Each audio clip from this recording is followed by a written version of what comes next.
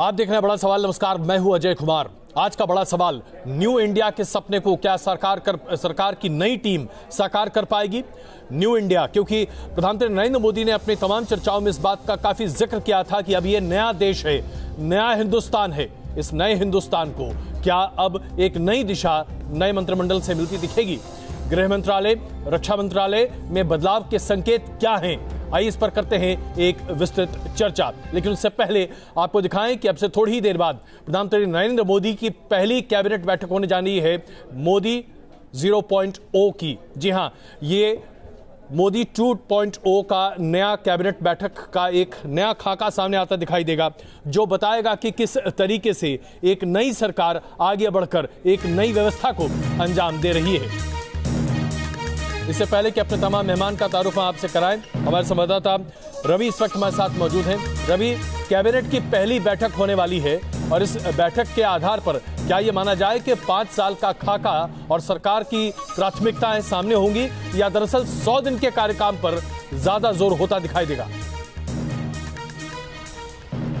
अजय जी, अब से कुछ ही देर बाद मोदी कैबिनेट की ये पहल, पहली बैठक होने वाली है। इस वक्त हम विजय चौक पर मौजूद हैं और साउथ ब्लॉक में ये बैठक होने वाली है। जानकारी ये मिली है कि अभी बहुत सारे ऐसे कैबिनेट मंत्री हैं जिन्होंने अपना पदभार ग्रहण नहीं किया है। इसलिए कैबिनेट का जो आधिकारिक एजेंडा है, वो सबके पास नहीं आया है। लेकिन जिन कैबिनेट मंत्रियों से हमारी बातचीत हुई है, उनका ये कहना है कि सरकार की प्राथमिकता ये है कि सरकार ने चुनाव में जो वादे किए थे जनता से, भारतीय जनता पार्टी ने अपने मैनिफेस्टो मैनिफेस्टो के माध्यम से उन वादों को किस तरीके से पूरा किया जाए और न्यू इंडिया का जो संकल्प है प्रधानमंत्री का, उसको ध्यान में रखते हुए सौ दिन का एजेंडा क्या होगा और उस एजेंडे को किस तरीके से अमल में लाना है उसकी प्रक्रिया क्या होगी ये पहली बैठक में प्रधानमंत्री अपने सभी सहयोगियों को बताएँगे। साथ ही जनता को किस तरीके से कॉन्फिडेंस में लेना है और कभी ऐसा प्रतीत न हो कि सरकार जनता और पार्टी के बीच में कहीं सामंजस्य बिठता हुआ दिखाई नहीं दे रहा है। इसलिए सरकार और पार्टी के बीच में भी संतुलन बनाने का पूरा प्रयास किया जाएगा और अब से कुछ ही देर बाद जो ये पहली कैबिनेट की बैठक होने वाली है ध्यान रहे कि 2014 की जो पहली कैबिनेट की बैठक हुई थी उसमें एक चौंकाने वाला फैसला मोदी गवर्नमेंट ने लिया था और उसमें एसआईटी का गठन किया था काले धन के खिलाफ। हो सकता है कि आज भी किसानों को लेकर किसी बड़े फैसले का ऐलान मोदी कैबिनेट की पहली बैठक में किया जा सकता है ऐसा सूत्र संकेत दे रहे हैं। यानी कि कई बड़ी बातें हो सकती हैं और सबसे बड़ी बात तो यह है कि सरकार अभी से ही एक्शन मोड में आती दिखाई दे रही है। आइए चर्चा शुरू करते हैं। डॉक्टर ज़फ़र इस्लाम भारतीय जनता पार्टी से हमारे साथ मौजूद हैं। प्रोफेसर कौशल मिश्रा जी हैं। प्रोफेसर अमन अग्रवाल जी हमारे साथ हैं। विनोद अग्निहोत्री जी और इनके सिख साहब हमारे साथ हैं। आप सबका स्वागत है। ज़फ़र इस्लाम साहब, सबसे ज़्यादा जिसकी उम्मीद थी वो ये कि भारतीय जनता पार्टी के अध्यक्ष अमित शाह को कैबिनेट में जगह मिलेगी। जगह तो मिली लेकिन उसके साथ ही गृह मंत्रालय। तो इसका संकेत क्या है? कश्मीर पर टफ भारत का स्टैंड। इसके साथ साथ माओवाद के खिलाफ टफ स्टैंड। पूरे देश में तमाम जाँच एजेंसियों की हाथ मज़बूत। या यूँ कहें कि एक बहुत ही टफ इंडिया की इमेज सामने आती दिखाई देगी। देखिए, ये सारी चीज़ें जो है, मुझे लगता है आज नहीं करनी चाहिए। इसलिए कि अभी तो उन्होंने सिर्फ़ भार संभाला है। लेकिन आप इस चीज़ को ज़रूर आप समझते होंगे कि जितना आप जानते होंगे अमित शाह जी को उनका पिछले कार्यकाल देखिए as president of the party और उससे पहले जब वो जब गुजरात में थे तभी होम मिनिस्टर का कि हर चीज़ वो ऊंचाई तक ले जाते हैं पैमाने तक ले जाते हैं। आप देखिए पार्टी का जो जिस तरह से विस्तार किया पार्टी को जिस तरह से बढ़ा पार्टी का जिस तरह से ग्रोथ हुई दुनिया की सबसे बड़ी पार्टी हो गई। उसी तरह से जब इंटरनल सिक्योरिटी जो है इंपॉर्टेंट इशू है आप देखेंगे उसमें जिस तरह से बहुत अच्छा पिछले पाँच सालों में काम हुआ राजनाथ सिंह ने जी ने जो किया उसको और उसमें निखार लेकर ज़रूर आएँगे अगले पाँच साल में। लेकिन अगर मैं मान लीजिए कि फ़र्क करने की बात कहूँ देखिए राजनाथ जी की बात कहें तो उन्होंने भी भारतीय जनता पार्टी के अध्यक्ष के पद पर वो रह चुके हैं पार्टी को चला चुके थे। लेकिन अमित शाह जी के पार्टी को चलाने का तरीका एकदम अलग था। गृहमंत्री राजनाथ जी पाँच साल रहे हैं। अब गृहमंत्री अमित शाह जी होंगे। ज़ाहिर सी बात तो लोग उम्मीद करते हैं कि एक बहुत ही अलग परिदृश्य दिखाई देगा गृह मंत्रालय में। मैं इस पर आपके विचार जानना चाहता हूँ। देखिए ज़ाहिर है हर आदमी का तरीका अलग अलग होता है काम करने का लेकिन लक्ष्य एक ही होता है। लक्ष्य एक ये है जो जो राजनाथ सिंह जी का भी था लक्ष्य अमित शाह जी का भी होगा। इसलिए कि देश की सुरक्षा इंटरनल सिक्योरिटी और देश जो मज़बूत बने उनका भी यही लक्ष्य था इनका भी यही लक्ष्य होगा। और अलग तरीके से अलग अलग तरीके से काम करते हैं। वो बिल्कुल तरीका अलग है दोनों का काम करने का। वो भी अध्यक्ष रहे ये भी अध्यक्ष रहे। लेकिन मैं इतना ज़रूर कहना चाहूँगा कि बुलंदियों में पहुँचाने का जो काम जिस तरह से कोशिश करते हैं एक एक प्लान बनाते हैं उस प्लान को एग्जीक्यूट करने में कोई कसर नहीं छोड़ते हैं। जितनी भी मेहनत हो जितनी भी कोशिश हो जितने भी रिसोर्सेज लगे सब बिल्कुल, इसमें कोई शक नहीं है कि लोगों की अमित शाह से काफ़ी ज़्यादा हैं। जनता के हित में जैसा उन्होंने ट्वीट करके भी कहा मैं जरा देशवासियों के हित में और देश के हित में अच्छा भारतीय जनता पार्टी के महासचिव राम माधव से अभी हमारी थोड़ी देर पहले बात हुई है और उनका इंटरव्यू भी हम न्यूज़ नेशन पर दिखाने जा रहे हैं। उन्होंने स्पष्ट तौर से कहा कि आप देखेंगे कि एक बहुत ही सकारात्मक तरीके से, लेकिन सशक्त तरीके से भारत सरकार उन तमाम ताकतों के खिलाफ काम करती दिखाई देगी, जो आज भीतर ही भीतर देश को खोखला कर रहे हैं। खास करके कश्मीर पर उनका स्पष्ट कहना था कि धारा 370 का औचित्य अब हिंदुस्तान में रह नहीं गया है। सिंह साहब, मैं आपसे समझना चाहता हूँ, क्या इन तमाम वजहों की वजह से प्रधानमंत्री नरेंद्र मोदी ने अमित शाह को यह बड़ी ज़िम्मेदारी दी है? बड़ा अच्छा सवाल है, अजय जी। और खास करके तब जब राम माधव ने ये बात कही हो कि 370 का औचित्य नहीं रह गया है। ये क्लियर अब वो है कि किस लिए लाए हैं आप? अमित शाह एक जस्टिफिकेशन देखिए देखिए, इनकी तीन प्रॉब्लम हैं। वेस्ट बंगाल ममता जिस तरह से कर रही वहाँ पे लॉ एंड ऑर्डर वाकई कोलैप्स कर रहा है और इसलिए नहीं कि लॉ एंड ऑर्डर की प्रॉब्लम है। वो दोनों के बीच जो क्लैश है उसमें गवर्नमेंट पे होने की वजह से ये उसमें पुलिस का इस्तेमाल कर रही हैं। केरला में ये दिक्कत हुई आपने देखा किस तरह संघ के लोगों को मारा गया। तो मुझे लगता है कि अमित साहब एक स्ट्रांग लीडर है मैसेज अच्छा कन्वे कर देते हैं। तो जब कल कुछ करते हैं ऐसा जैसे प्रेसिडेंट सूर लगाना है या 370 एबॉलिश करना है। तो इसको मार्केट पे पब्लिक के सामने जस्टिफिकेशन के लिए राजनाथ सिंह उतने अच्छे ऑडिटर नहीं है कि अपनी बात को वो मासेज में कन्विंस कर ले जाए। अमित शाह बहुत अच्छे इस इस मामले में है। वो घूम घूम के इतना कहेंगे इतना कुछ बोलेंगे कि लगेगा कि बिल्कुल सही है। और 370 में खास करके 370 का जो सब क्लॉज तीन है और उसका प्रोवाइजो जी। इसके तहत आप नहीं कर सकते ये बात संविधान में लिखी हुई है। कि आप नहीं कर सकते जब तक कॉन्स्टिट्यूएंट असेंबली नहीं बुलाएँगे। लेकिन एक कॉन्स्टिट्यूएंट असेंबली किसी एक चीज़ के लिए बैठती नहीं एक बार बैठती है और देश के इतिहासों में ऐसा नहीं होता कि हर रोज कॉन्स्टिट्यूएंट असेंबली बना रहे। तो जस्टिफिकेशन बिल्कुल है 370 एबॉलिश होना चाहिए। तो उसी का जस्टिफिकेशन देने के लिए राजनाथ सिंह उतना एक्टिवली नहीं कर पाते। ममता बनर्जी हैं जी। 303 आप जानते हैं प्रेसिडेंट सूल की स्थिति बनती जा रही है। तो मुझे लगता है इसीलिए होम मिनिस्ट्री उनको दिया गया है और फिर डिफेंस की प्रॉब्लम यह है कि ये काजल की कोठरी है। इसमें जो भी जाता है अगर कुछ करता है तो दाग लग जाती है। तो मुझे लगता है कि ये राजनाथ सिंह को बहुत कुछ देखना पड़ेगा कि इस काजल की कोठरी से निकल के कैसे। अपनी पाक इमेज को वो किस तरीके से बहाल रखें।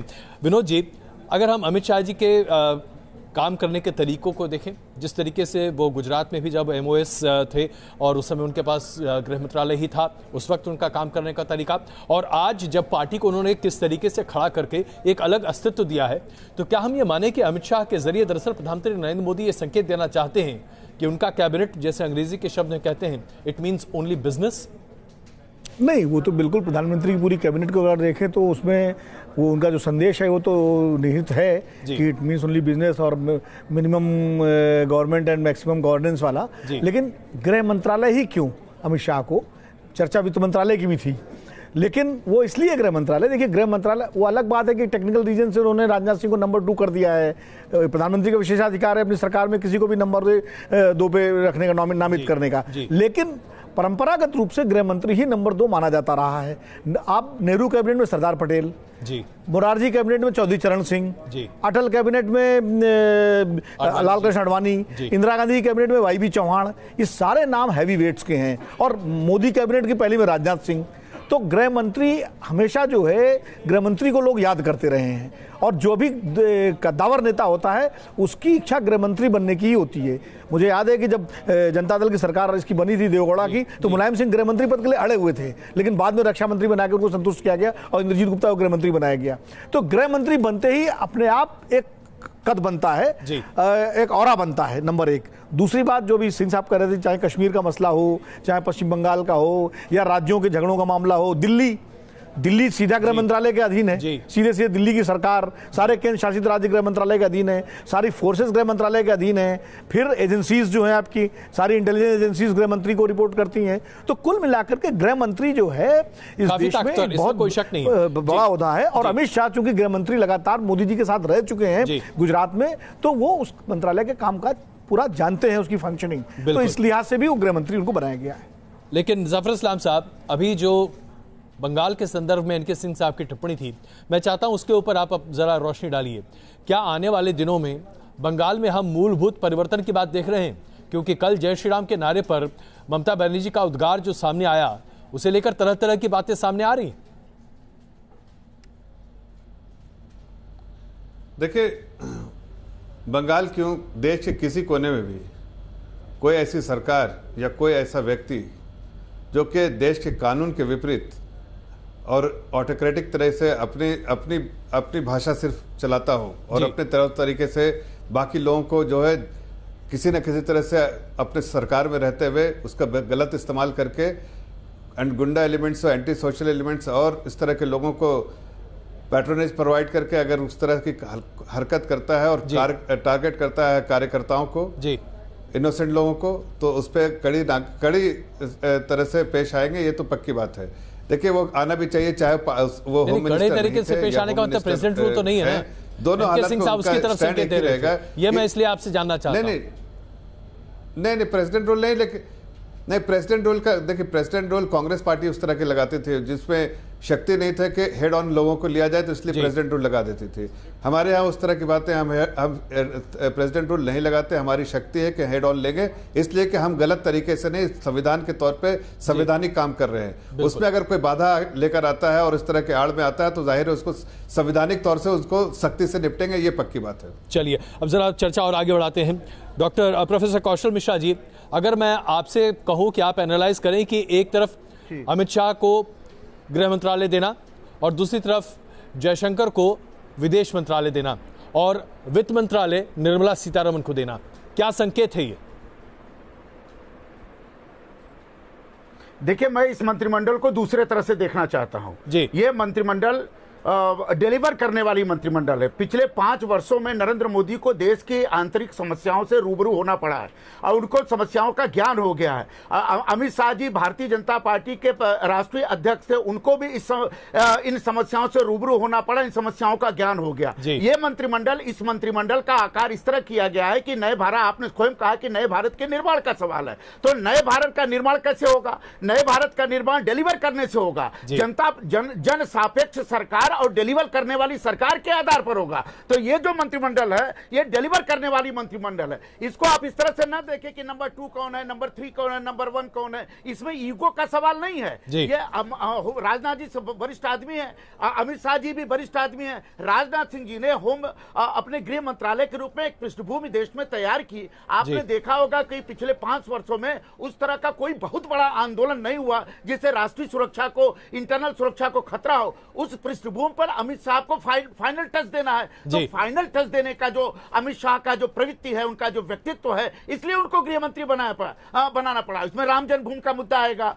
आप देखिए धारा तीन सौ सत्तर पैंतीस का मामला आएगा नक्सलवाद का मामला आएगा। टुकड़े टुकड़े गैंग जिसने भारत तो तेरे टुकड़े होंगे जैसे चीज़ों का नारा लगाया था ये सारी चीज़ें अभी भी जीवित हैं। पुरस्कार वापसी गैंग ये जो असुरक्षा का लिंचिंग का सवाल इन सवालों को कैसे डील करें ये ये अमित शाह जी को इस आधार पर ले आया गया है और दोनों की जोड़ी गुजरात में हिट रही है। जो। वर्षों से गुजरात में जो अ, कभी दंगों के लिए गुजरात जाना जाता रहा अमित शाह प्रोफेसर कौशल आपने जो अभी बात कही है मैं उस तो पर एक छोटी टिप्पणी एनके सिंह साहब से ले लूँ। सिंह साहब ये जो पिछले पाँच साल में हमने देखा था टुकड़े टुकड़े गैंग उसके साथ साथ फिर हमने देखा असहिष्णुता का मामला अवार्ड वापसी मॉब लिंचिंग ये तमाम चीज़ें आई जिसने कि मोदी सरकार पर कई बार कई तरह के आशय खड़े करने की कोशिश की थी। क्या अमित शाह जी के नेतृत्व में इस तरह की चीज़ों पर अब नकल कसी जाएगी? अरे अजय जी एनालिस्ट को इंडिपेंडेंट एनालिस्ट को जो जुमले पॉलिटिकल पार्टीज़ थ्रो करती हैं उससे नहीं होना चाहिए मुतासर। वो उदाहरण के लिए अगर हम यही प्रेमाइस ले लें। कि साहब एफिशिएंसी क्राइटेरिया रही है तो मेरी समझ में नहीं आता है राज्यवर्धन क्यों ड्रॉप हो गए। मेरी समझ में नहीं आता कि साध्वी निरंजना में कौन सी ऐसी सुरखाब के पर लगे थे और गिरिराज सिंह में लगे थे। तो इसलिए ये लॉजिक नहीं चलता। इसलिए चलता है कि निरंजना निषाद कम्युनिटी की है महिला है और एक भगवा पहनती है। लिहाजा तीनों चीज़ें मिल जाती हैं तो कई रीजनल इम्बैलेंस दूर करना है कास्ट इम्बैलेंस दूर करना जी, है। जी। इस वजह से ये होता है। इसमें एफिशिएंसी अगर देखा जाए तो बहुत एफिशिएंट लोग पीछे रह गए। तो इसलिए वो इशू नहीं है।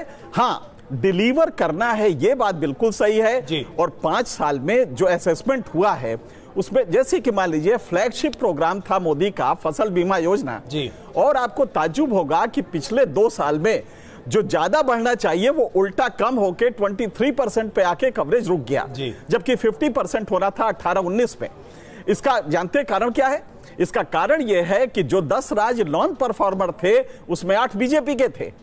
और जो चार राज्य बहुत अच्छा परफॉर्म किए फ़सल बीमा योजना में उसमें तीन कांग्रेस के थे। तो आज ज़रूरत इसकी है कि अमित शाह या ये सारे लोग खास करके एग्रीकल्चर मिनिस्टर वो चीफ मिनिस्टर्स को फोर्स करे कि आप इन योजनाओं का सही इंप्लीमेंटेशन करेंगे। आपने कह दिया कि फ़सलों के किसानों की आय दूनी करेंगे। सिर्फ़ तीन साल आपके पास रह गए हैं। और हकीकत यह है किसानों का आय घटा है पहले से। आइए जरा वित्त पर चर्चा कर लेते हैं प्रोफेसर अमन अग्रवाल इस वक्त हमारे साथ जी जी। में जोड़ दूँ? जी। देखिए अमित शाह जी को गृह मंत्री बनाने के साथ साथ एक सक्सेशन प्लान भी है। पार्टी के भीतर। ये भी आप समझ लीजिए। ये आपने बड़ा मुद्दा छेड़ दिया। हाँ। मैं इस पर बहस करने वाला था लेकिन ब्रेक के बाद इसलिए मैं अभी से ही कह रहा हूँ जाफ़र इस्लाम साहब आपसे इस पर हम सवाल पूछेंगे।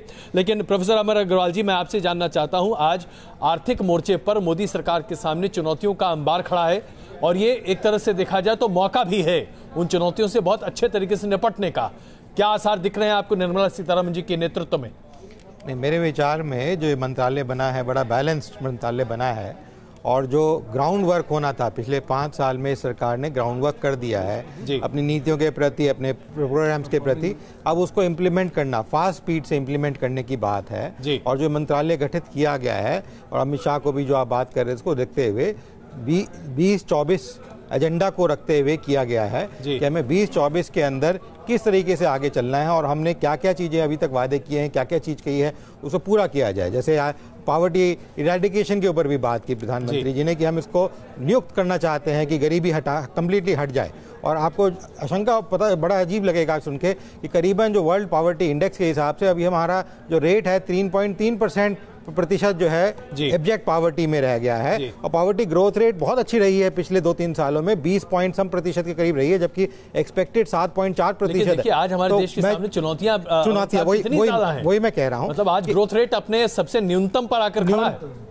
देखिए पर जो ग्रोथ रेट भी है अंतर्राष्ट्रीय मैं मैन्युफैक्चरिंग की बात कर रहा हूँ खास करके। आज मैन्युफैक्चरिंग देखें तो बुरे तरीके से ध्वस्त है। मैन्युफैक्चरिंग नहीं तो नौकरियाँ नहीं है। नौकरियाँ नहीं है तो बेरोजगारी है। बिल्कुल ठीक कह रहे हैं आप।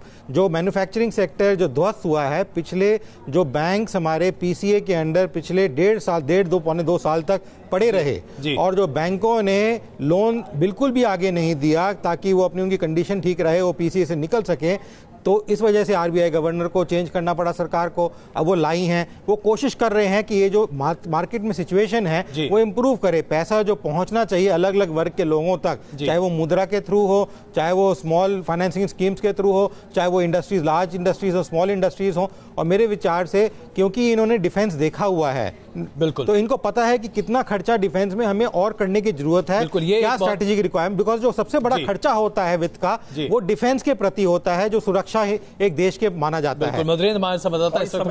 किया था गवर्नमेंट ने दो परसेंट। दो परसेंट। जीडीपी का करेंगे अभी 1.43 है। बिल्कुल उससे बढ़ाना अपने आप में एक है बहुत बड़ी चुनौती है। तो मधुरेंद्र सबसे बड़ा मुद्दा तो यह है कि अगर हम रक्षा के बजट के आधार पर देखें या फिर पूरे बजटीय आधार को देखें तो बजट भी सरकार अब लेकर आएगी क्योंकि अभी तक तो जो बजट सामने आया था वो अंतरिम बजट था। पूर्ण बजट भी सरकार का सामने होगा। ऐसे में वित्त मंत्री, जो कि पहली बार एक महिला वित्त मंत्री बनी है, उनके ऊपर कितनी बड़ी ज़िम्मेदारी और चुनौती है?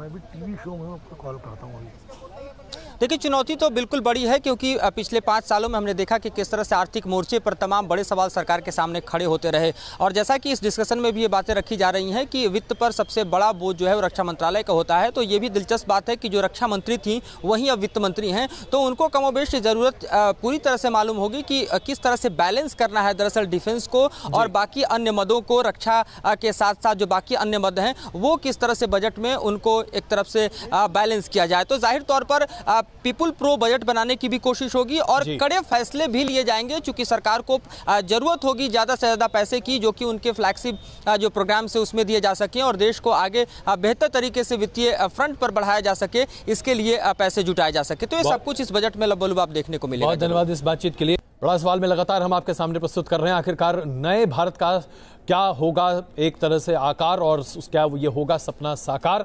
आइए जरा आपको सीधे दिखाते हैं। प्रधानमंत्री नरेंद्र मोदी अब से कुछ ही देर पहले साउथ ब्लॉक में अपने कार्यालय में पहुँचे, जहाँ पर आज पहली कैबिनेट की बैठक शुरू होने वाली है। प्रधानमंत्री कार्यालय के बाहर की ये तस्वीरें आप देख रहे हैं। धीरेन्द्र पुंडीर हमारे संवाददाता इस वक्त हमारे साथ मौजूद हैं। धीरेन्द्र, प्रधानमंत्री अपनी पहली कैबिनेट की बैठक आज ले रहे हैं नए सरकार की। ऐसे में प्राथमिकताएँ कई हो सकती हैं। लेकिन अभी ये खबर आ रही थी कि शायद कृषि क्षेत्र की एक बड़ी घोषणा सामने आ सकती है। और क्या होने की उम्मीद बताई जा रही है?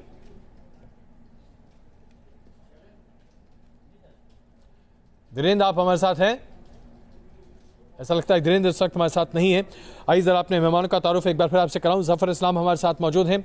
कौशल मिश्रा जी हमारे साथ हैं। अमन अग्रवाल जी, विनोद अग्निहोत्री जी और एन के सिंह साहब हमारे साथ मौजूद हैं। सिंह साहब, अगर कृषि क्षेत्र को लेकर एक बड़ी घोषणा की बात सामने रखी जाती है तो क्या ये माना जाए कि मोदी सरकार का फोकस बहुत बड़े पैमाने पर कृषि क्षेत्र में जो बड़ा असंतोष और उसके साथ साथ जो तमाम तरह की दिक्कतें हैं, उसे लेकर होगा?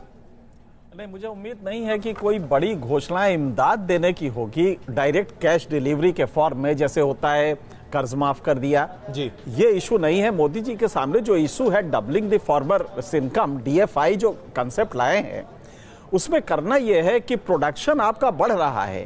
प्रोडक्टिविटी घट रही है।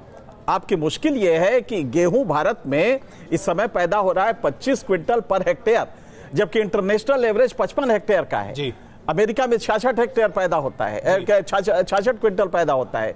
तो आपको प्रोडक्टिविटी बढ़ानी है और उसके लिए अनाउंसमेंट नहीं करना है एक्सटेंशन प्लानिंग को जी। डीप में ले जाना है। और वो स्टेट गवर्नमेंट्स की नालायकी की वजह से नहीं हो पा रहा है। तो मैं वही चिंता कर रहा हूँ कि अगर फिर कुछ दे दिया तो ये उससे होगा नहीं क्योंकि लगातार कर्ज में रहेगा ही किसान क्योंकि उसके उत्पादन की लागत मिल नहीं रही है। या तो ये करें आप दूसरा ये करें कि आपने डीएफआई डबलिंग फार्मर्स इनकम में हैवी इन्वेस्टमेंट जो कहा है दलवई कमेटी ने छह साढ़े छह लाख करोड़ का इन्वेस्टमेंट आपको करना होगा। क्या इस हालत में हैं हम? और वो करना होगा तो उसका नेचर क्या होगा? नेचर, बिल्कुल, तो ये मेरे ख्याल से चैलेंज बहुत बड़ा है। हाँ ये एक चीज़ कृषि में ज़रूर कर सकते हैं कि इमीडिएटली जो सीमांत किसान है लघु सीमांत जिसको एक हेक्टेयर दो हेक्टेयर करें उनके लिए कोई एक बेनिफिट इमीडिएटली करें। ताकि वो एग्रीकल्चर में थोड़ा मजबूती पा पाए ये शायद हो सकता है। हमारे साथ तो मौजूद धीरेन्द्र क्या इस तरह की कोई संभावना हो सकती है कि छोटे किसानों के लिए कोई बड़ा फैसला आज की पहली कैबिनेट में? हाँ देखिए चर्चा चल रही थी लेकिन एक दिक्कत यह है कि अभी आधे आधे से ज़्यादा मंत्रियों ने अपनी कैबिनेट की शपथ भी नहीं ली है जिस तरह अमित शाह सीधे चले गए। तो लगता तो है कि कि चर्चा जो चल रही थी वो श्रमिक जो लोग हैं उनके लिए पेंशन पर भी बात है कि एक एक मुश्त पेंशन देना उस सब पर चर्चा होगी और किसानों का छोटे किसानों का खासतौर से उनके फ़ायदे के लिए कोई स्कीम लाने के लिए बातचीत थी। अब देखना है कि किस तरह से ये कैबिनेट के बाद कैबिनेट में सरकार ने क्या फैसला लिया वो बताती है। लेकिन ये सही बात है कि जिस तरह से अमित शाह भी आए वो मंत्रालय में आने की बजाय अभी सीधे मीटिंग में चले गए जी बात यही है। बिल्कुल अब धीरेन्द्र एक बात और बताइए। हम पहले से सुनते आ रहे थे कि चुनाव खत के आखिरी चरण से पहले ही प्रधानमंत्री कार्यालय की अगुवाई में सौ दिनों के एजेंडे पर काम शुरू हो गया था। तो क्या ये माने कि सत्ता संभालने के साथ ही पहले मंत्रिमंडल के साथ ही एजेंडा हंड्रेड काम शुरू हो जाएगा? एकदम पूरी तरह से अजय जी जब ये फ़ेज़ में साफ़ होने लगा तब हम लोगों को अधिकारियों को जो उससे पहले पहले तीन चार फ़ेज़ तक आपको अधिकारी छुट्टी के मूड में दिख रहे थे लेकिन जैसे ही सिक्स फ़ेज़ आया वो तमाम लोग अपनी फाइलें इकट्ठे करने लगे और सब तैयारियाँ शुरू हो गई। जैसे लग रहा था कि पूरी तरह से आते ही पहले दिन से काम शुरू होगा वो आपको जो जो मंत्रालय में आप देखेंगे मीटिंगों का दौर है बाकायदा। शपथ ग्रहण के लिए कुछ जगह आपको फ़ोटोज़ दिखेंगे और उसके बाद एकदम उन्होंने मीटिंगें शुरू कर दी जो इस बात की तरफ़ इशारा कर रहे हैं कि उस दौरान ये तय हुआ था कि आगे सौ दिन तक क्या करके दिखाना है और जिस पर शायद प्रधानमंत्री फिर बताएँगे कि सौ दिन में हम लोगों ने क्या अचीव किया। बिल्कुल बहुत धन्यवाद जानकारी के लिए। ज़फ़र इस्लाम साहब विदेश मंत्रालय में एक नया चेहरा आएगा इसे लेकर बहुत ज़्यादा लोगों को उम्मीद नहीं थी। इस लैटरल एंट्री का क्या मतलब निकाला जाए? देखिए प्रधानमंत्री कई बार लोगों को सरप्राइज़ देते हैं और उसका जो अल्टीमेट ऑब्जेक्टिव जो रहता है कि जो बेस्ट प्रोडक्टिव यूज़ जो है उस आदमी का उस, सिचुएशन का जो हो सके। इस केस में एस जयशंकर जी के बारे में उन, उनकी प्रतिभा के बारे में उनके क्रेडेंशियल्स और क्रेडिबिलिटी के बारे में देश की जनता को मालूम है कि किस तरह से फॉरेन पॉलिसी के बारे में और फॉरेन अफेयर्स के बारे में उनकी महारत हासिल है। जी। तो उन्हें इस इस इस जॉब के लिए चुना गया। बिल्कुल वो बहुत ही कॉम्पिटेंट आदमी हैं और प्रधानमंत्री के साथ जब उन्होंने काम किया कई बार उनके साथ दौरा भी किया तो उन्हें एहसास हुआ प्रधानमंत्री को ज़ाहिर है उनकी उनकी जो कॉम्पिटेंस लेवल है उसका एहसास हुआ होगा महसूस किया होगा उन्होंने। इसलिए उन्होंने उन्होंने उनको मौका दिया। जब हमारे सुषमा जी ने जो भी वजह मुझे उसके बारे में इतला नहीं किया लेकिन जब उन्होंने ये चूज़ किया कि नहीं वो रहेंगी मंत्रिमंडल का पार्ट तो ऐसे में उनसे बेहतर जयशंकर से बेहतर और कोई प्रधानमंत्री की नज़र में कोई और नहीं होगा आई एम श्योर इसलिए कि उनके उन्होंने जितना अच्छा काम किया है देश के लिए जब प्रधानमंत्री के साथ पिछले कुछ सालों में बिफोर रिटायरमेंट वो अपने आप में एक मिसाल है। बिल्कुल। विनोद जी, अब यहाँ पर सवाल ये उठता है कि अजीत डोवाल जो कि नेशनल सिक्योरिटी एडवाइज़र हैं, उनकी और एस जयशंकर की ट्यूनिंग जब वो फॉरेन सेक्रेटरी हुआ करते थे, बहुत ज़बरदस्त बताई जाती है। तो क्या ये वजह रही होगी कि आज प्रधानमंत्री जी ने उन्हें इतने बड़े पद पर दिया है और ख़ास करके तब जबकि हमारे पास चुनौतियों का अंबार लगा पड़ा है? हमें ट्रेड के मामले पर अमेरिका से दो दो हाथ करने हैं, चीन के साथ लगातार ट्रेड के मामले पर दो दो हाथ करने हैं, पाकिस्तान की समस्या हमारे सामने खड़ी है। नहीं देखिए पहले तो एक चीज़ मैं सही कर दूँ वो धीरेन्द्र पुंडीर ने दो तीन बार कहा कि शपथ ग्रहण नहीं लिया। शपथ ग्रहण तो कल हो चुका है कार्यभार नहीं ग्रहण किया होगा मंत्रियों ने। वो एक त्रुटि उनसे गलती से हो गई। दूसरा जो आपने प्रश्न ये किया ना कि जयशंकर जी की और अजीत डोवाल की, की ट्यूनिंग निश्चित रूप से दोनों की बहुत ज़बरदस्त ट्यूनिंग है।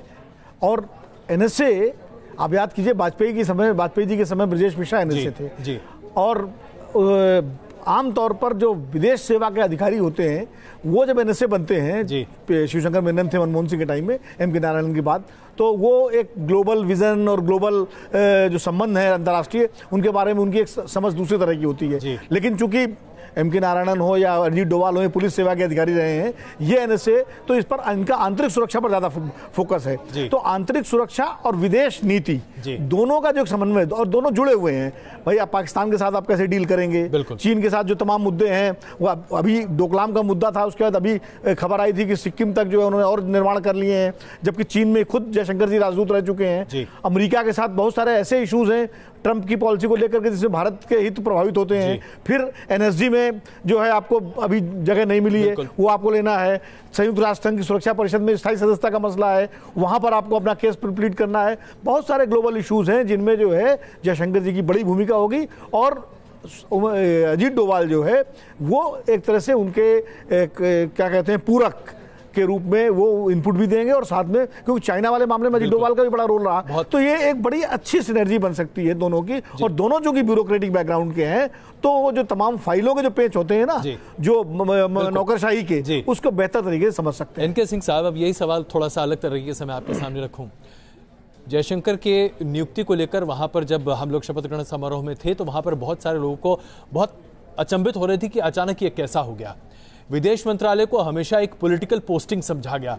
और खास करके विदेश मंत्री एक ऐसा व्यक्ति जो कि पॉलिटिक्स को डिफाइन करता हुआ हो। एक ब्यूरोक्रेट को विदेश मंत्रालय देकर क्या संकेत आज प्रधानमंत्री नरेंद्र मोदी दे रहे हैं? नहीं और ये एक नया चलन है। पहले कभी इस तरह का नहीं हुआ कि डायरेक्ट एक ब्यूरोक्रेट को करियर डिप्लोमेट को आप सडनली ले आए और उसको फॉरेन मिनिस्टर बना दें। ये पहले कभी नहीं हुआ है। लेकिन चूँकि हुआ यह है कि मोदी जी खुद फॉरेन मिनिस्टर की तरह वर्क करते हैं। जी। आपने देखा होगा सुषमा जी थी वो अच्छी निगोशिएटर थी लेकिन फिर भी मोदी जी पूरे फॉरेन रिलेशंस को डील करते थे। तो मोदी जी के रहने एक ओवर आर्किंग इन्फ्लुएंस होता है एक पॉलिटिकल लीडर का। और खास करके जब सिंगल लीडरशिप का जो फ्रेमवर्क होता है उसमें अगर काम करते हैं मोदी जी सिंगल लीडरशिप के फ्रेमवर्क में काम करते हैं लिहाजा ये सारी चीज़ें मान लीजिए कृषि है फ़सल बीमा योजना भी मोदी जी का कंसेप्ट है। आपको सिर्फ़ इंप्लीमेंट करना है। तो इंप्लीमेंटर बहुत अच्छे रहे। विजय ये आपके फॉरेन मिनिस्टर जो बने हैं ना फॉरेन मिनिस्टर जयशंकर। इसलिए आप देखेंगे कि मोदी जी को इस समय फॉरेन में इंप्लीमेंटर चाहिए। जो निगोशिएट भी करे तो सेकेंडरी टर्शियरी लेवल पे करे। प्राइमरी लेवल पे तो मोदी जी करेंगे ही। उसी तरह फाइनेंस है। जी। फाइनेंस में जो बेसिक आज चैलेंज क्या होगा? चैलेंज सिर्फ़ ये है सीतारमन के पास जी। कि जीएसटी ऐसे कॉम्प्लेक्स कंसेप्ट को आप मासेस में इंप्लीमेंट कैसे कराएँगी? ऑलरेडी एक रिलक्टेंस दिखाई दे रहा है। जी। तो उसको मासेस में ले जाना। और उसके बाद जो इंडियन फाइनेंशियल सिस्टम है आप अगर देखें तो इस समय बहुत अच्छी स्थिति में नहीं है। आपका फॉरेन ट्रेड काफ़ी नीचे आ गया था और वो ग्लोबल एक्स उसकी वजह से नहीं हुआ था। उसे तो मेरे ख्याल से ये सारी दिक्कतें हैं। वो सीता अच्छा सीतारमन को मैं बता दूँ कि जेएनयू से ये इकोनॉमिक्स में एमए है और नहीं, पीएचडी फॉरेन ट्रेड पे है। मैं अभी यही सवाल दरअसल प्रोफेसर कौशल से पूछना चाहता था। प्रोफेसर कौशल हम टुकड़े टुकड़े गैंग की बात कर रहे थे लेकिन मोदी सरकार के दो अहम मंत्री जेएनयू से आते हैं। निर्मला सीतारमन और जयशंकर। और इनके हस्बैंड बहुत अच्छे इकोनॉमिस्ट हैं लंदन स्कूल ऑफ़ इकोनॉमिक्स से तो- जो कि कांग्रेस बैकग्राउंड के हैं। जी अब अब लोग से ये उसी समय थे जेएनयू में जी। खासकर निर्मला सीतारमण जी। जब मैं भी था जेएनयू में। बिल्कुल, तो- तो- उस समानांतर उस समय कौशल मिश्रा जी अब सवाल ये है कि जिस जेएनयू के तथाकथित तौर पर कल्चर को लेकर एक बड़ा विवाद पूरे देश भर में हुआ उसी जेएनयू के दो प्रोडक्ट आज मोदी सरकार में नहीं है बल्कि ड्राइविंग फोर्सेस हैं। कौशल साहब अब अब अब जेएनयू को और काशी हिंदू विश्वविद्यालय को बैकग्राउंड में ले आकर के राजनीति करेंगे तब तो राजनीति हो चुकी। मैं तो आपसे ये कह रहा हूँ कि ये जो मंत्रिमंडल बना है, ये डिलीवर करने वाली अब लड़ा दीजिए जेएनयू और काशी हिंदू विश्वविद्यालय को कि डिलीवर करने वाले वहाँ के बहुत हैं महेंद्र नाथ पांडे बीएचयू के हैं वो कुछ नहीं है। ये कोई सवाल ही नहीं है। ये प्रश्न जो है एक हवा हवाई है। इस हवा हवाई के प्रश्न में सकारात्मक रूप में नहीं लेना चाहिए। इससे जेएनयू का कोई कट नहीं पड़े कोई कहीं से पड़े लेकिन ये सही है कि सीतारमन जी इकोनॉमिक्स बैकग्राउंड के हैं इनको इकोनॉमिक्स के सूत्र उनको पता है। उन्होंने रक्षा मंत्रालय में एक अच्छा काम किया था। और आपने जो बात ये कही कि मोदी जी सब कुछ देखने वाले हैं ये लोग डिलीवर करने वाले हैं तो डिलीवर करने वाला भी तो आदमी चाहिए। मैं ये मानता हूँ कि ये जो मंत्रिमंडल है ये मंत्रिमंडल ने, नेतृत्व के आधार पर डिलीवर करने वाला मंत्रिमंडल है। इसमें निर्णय को ज़मीन पर दिखना चाहिए। जो आप देख रहे हैं कि पहली मंत्रिमंडल की बैठक हो रही है। तो ये मंत्रिमंडल की बैठक औपचारिकता नहीं है। एक ठोस निर्णय का मंत्रिमंडल का बैठक है। एक ठोस आकार ग्रहण होगा। पाँच साल इनके लिए एक महत्वपूर्ण है। मोदी जी ने कहा कि पाँच साल मुझे जीने मरने का समय है। इस इस पाँच साल में ही नए भारत का निर्माण करना है। तो विदेश नीति हो गृह नीति हो इकोनॉमिक पॉलिसी हो कृषि की समस्या हो लॉ एंड ऑर्डर हो नक्सलवाद की समस्या हो। ये जो तमाम सहिष्णुता अहिष्णुता के जो सवाल पिछले साल इन सारी चीज़ों को समस्याओं का समाधान करके एक शांत भारत एक वसुधैव कुटुंबकम का भारत एक सांस्कृतिक राष्ट्रवाद का भारत एक वैश्विक भारत एक संपन्न भारत और ऐसा संपन्न भारत जहाँ का आम आम जनता स्वावलंबी हो सके कृषक स्वावलंबी हो सके सशक्त भारत की बात करते हैं तो मैं यहीं पर प्रोफेसर अग्रवाल से समझूं। प्रोफेसर अग्रवाल हम लगातार अपने आप को अंतर्राष्ट्रीय स्तर पर खास करके वित्तीय क्षेत्र में अगर देखें तो बड़े पैमाने पर आगे रखने की कोशिश करते रहे हैं। लेकिन हम अगर आंतरिक समस्याओं से ही नहीं उबर पा रहे तो हम आगे क्या बढ़ेंगे? आपने बताया कि बैंकों के पास पैसा है, लोन देने के लिए बैंक तैयार नहीं है। इंडस्ट्रीज़ ठप पड़ती दिखाई दे रही हैं।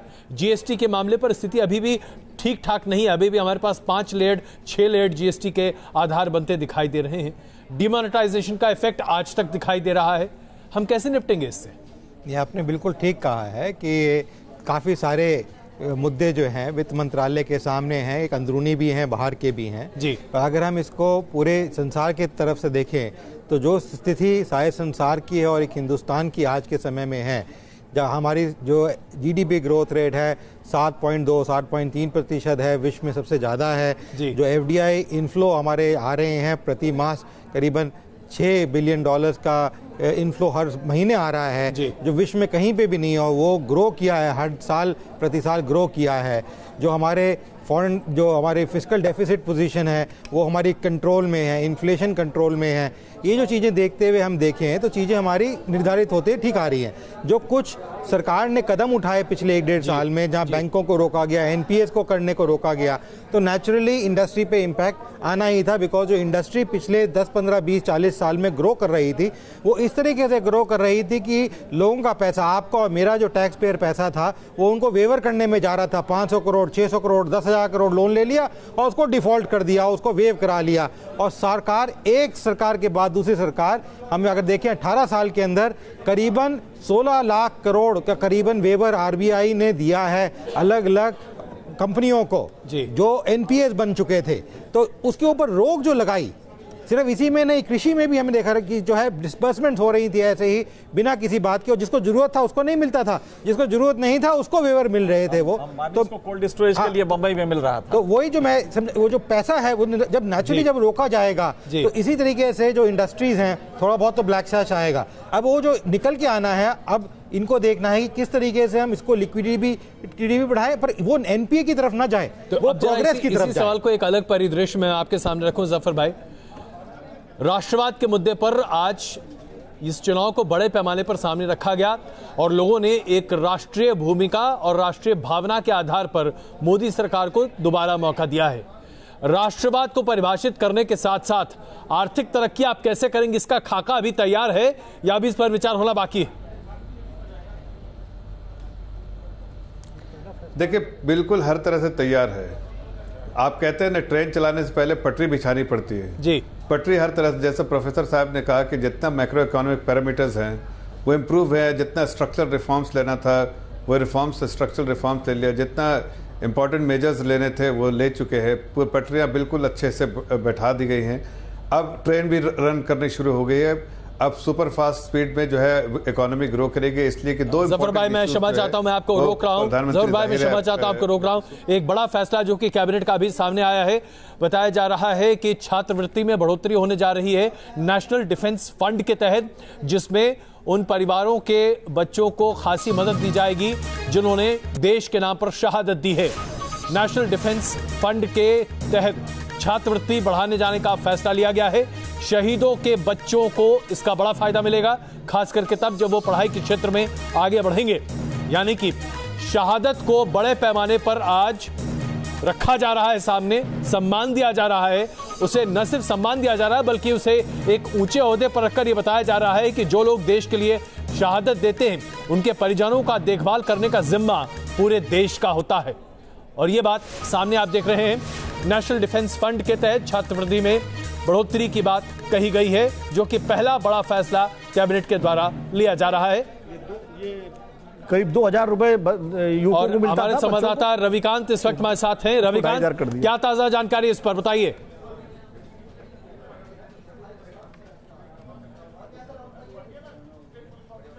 रविकांत? विनोद जी आप कुछ कह रहे थे इसके मैं बारे ये बता रहा था ये नेशनल डिफेंस फंड के तहत जो छात्रवृत्ति दी जाती है शहीदों के बच्चों को तो वो लड़कों के लिए 2000 से बढ़ाकर ढाई हज़ार कर दी गई है और लड़कियों को जो बाईस सौ पचास रुपए मिलते थे महीने के वो तीन हज़ार कर दिए गए हैं। इस तरह से एक अच्छी बढ़ोतरी ये इस की गई बढ़ोतरी है। दी गई है। तो इसका इसका मैसेज क्या जा रहा है विनोद जी? क्या हम वही कह रहे हैं कि शहादत को अगर आज हम सलाम कर रहे हैं तो क्या हम ये मान रहे हैं कि हम एक राष्ट्र निर्माण की तरफ़ भी आगे बढ़ रहे हैं? देखिए राष्ट्रीय सुरक्षा इन चुनाव में एक बड़ा मुद्दा था। भारतीय जनता पार्टी ने राष्ट्रीय सुरक्षा और राष्ट्रवाद को एक बड़ा मुद्दा बना करके चुनाव लड़ा था खास करके बालाकोट पे हम जो आतंकवादी ठिकानों को नष्ट किया गया उसके बाद। और चूँकि जो नौजो जो जवान सीमा पर या सुरक्षा बलों के जवान जो चाहे वो उग्रवादियों से आतंकवादियों से नक्सलवादियों से लड़ते हुए शहीद होते हैं या सीमा पर घुसपैठ को रोकते हुए या फायरिंग में क्रॉस बॉर्डर उसमें जो है तो उनके बच्चों को ये सहायता उन्नीस में नेशनल डिफेंस फंड बनाया गया था इसी के तहत कि बच्चों को एक एक मुश्त पढ़ाई के लिए और उनके उसके लिए एक छात्रवृत्ति दी जाए। तो वो छात्रवृत्ति की राशि बढ़ा करके ये संदेश दिया गया है कि शहीदों के परिवारों की देखभाल करने की ज़िम्मेदारी जो भारत सरकार की है वो और बेहतर तरीके से निभाई जाए। रविकांत हमारे साथ इस वक्त मौजूद है। रविकांत छात्रवृत्ति में बढ़ोतरी के साथ साथ और क्या अहम फैसले सामने आ सकते हैं? अजय जी ये पहला फैसला है प्रधानमंत्री पद की शपथ लेने के बाद नरेंद्र मोदी ने ये पहला फैसला लिया है जिसमें जो स्कॉलरशिप थी वो पहले दो हज़ार रुपए पर मंथ थी उसको बढ़ाकर पच्चीस सौ रुपए लड़कों के लिए कर दिया गया। इसके अलावा बाईस सौ पचास रुपए लड़कियों के लिए था जिससे बढ़ाकर तीन हज़ार रुपए कर दिया गया है। सरकार का मैसेज बिल्कुल साफ़ है सरकार ये दिखाना मैं आपको बीच में रोक रहा हूँ। रवि ये देखिए प्रधानमंत्री नरेंद्र मोदी का पहला फैसला जिसके ऊपर शायद वो हस्ताक्षर कर रहे हैं। पहली फ़ाइल की नोटिंग, जो प्रधानमंत्री नरेंद्र मोदी की है दफ्तर में दोबारा पहुँचने के बाद, ये तस्वीरें अभी आपके सामने आ रही हैं।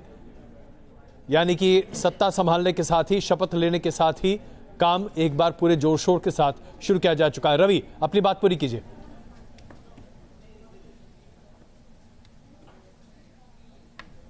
रवि, आप हैं हमारे साथ?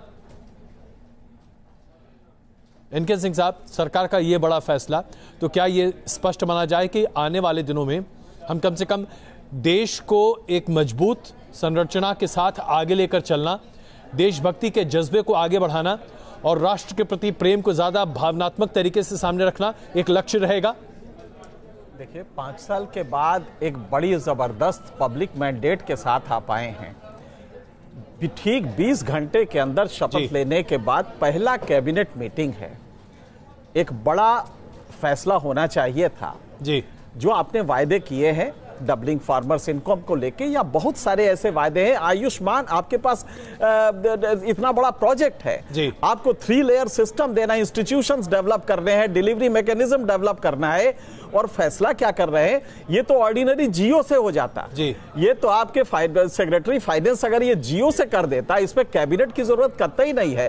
2000 से ढाई हज़ार है, है। सिंह साहब, हमें इस बात मैं वही कह रहा। हूँ कि अब सिंबल पाँच साल बाद इतने बड़े मैंडेट के बाद अब सिंबल्स की ज़रूरत नहीं है। आप जरा उसको एनालाइज कीजिए। आप सबका बहुत मैं क्षमा चाहता हूँ रोकना पड़ रहा है आपको लेकिन मेरे पास वक्त नहीं है बहस के लिए लेकिन इसमें कोई शक नहीं है। एक नई सरकार एक नई टीम एक नई ऊर्जा। क्या देश वाकई में बदलेगा? न्यू इंडिया सामने होगा, जिसका इंतज़ार हर कोई बेसब्री से कर रहा है। बने हमारे साथ, न्यूज़ नेशन पर खबरें जारी हैं।